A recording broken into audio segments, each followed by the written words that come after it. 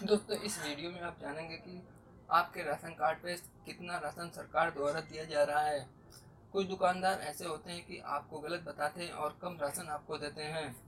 तो इस वीडियो में आप जानेंगे कि आपको कितना राशन सरकार द्वारा दिया जा रहा है। आप अपने मोबाइल से खुद ही चेक कर सकते हैं कि सरकार द्वारा आपको कितना राशन दिया जा रहा है और और राशन देने वाला दुकानदार आपको कितना राशन दे रहा है। तो अगर आपको राशन कम मिल रहा है तो आप उसकी कंप्लेन कर सकते हैं।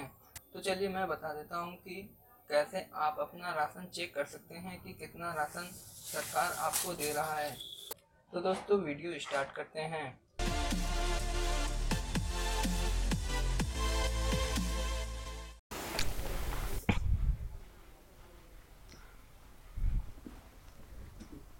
आपको अपने मोबाइल के क्रोम ब्राउज़र में चले जाना है।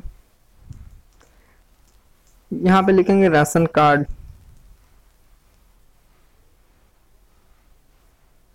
राशन कार्ड लिख के सर्च कर देंगे।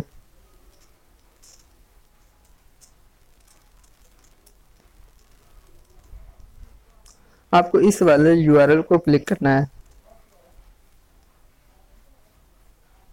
ये राशन कार्ड की वेबसाइट हमारे सामने खुल चुकी है। इस, इसे ऊपर करेंगे। यहाँ पे लिखा है एन एफ़ एस ए की पात्र सूची में खोजें, इसे क्लिक कर देंगे।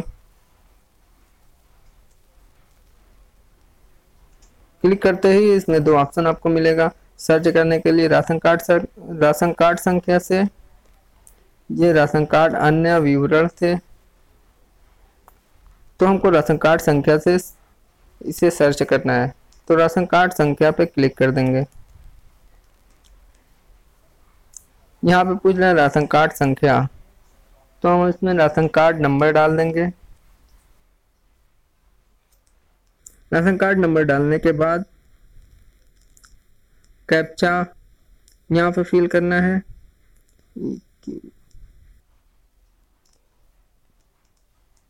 इसके बाद खोजे पे क्लिक कर देंगे। तो देखिए दोस्तों, ये आपका राशन कार्ड पूरा खुल चुका है और यहाँ पे दे रहा है आपको कौन कौन से महीने में कितना, इतना, कितना कितना, आपको कौन कौन से महीने में कितना कितना राशन मिला है? नंबर एक है मार्च में गेहूँ मिला है बारह बारह किलो। इसी तरह से ये पूरा लिखा हुआ है किस महीने में कितना आपको राशन मिला है। और इधर आएँगे तो किसने ये राशन लिया है, उसका नाम यहाँ पे लिखा रहेगा।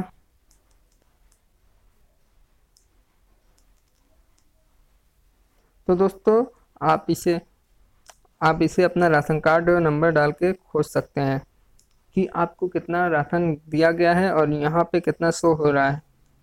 अगर यहाँ पे ज़्यादा शो हो रहा है और आपको कम मिला है तो राशन कार्ड तो अगर आपको राशन कम मिल रहा है तो आप उसकी कंप्लेन कर सकते हैं।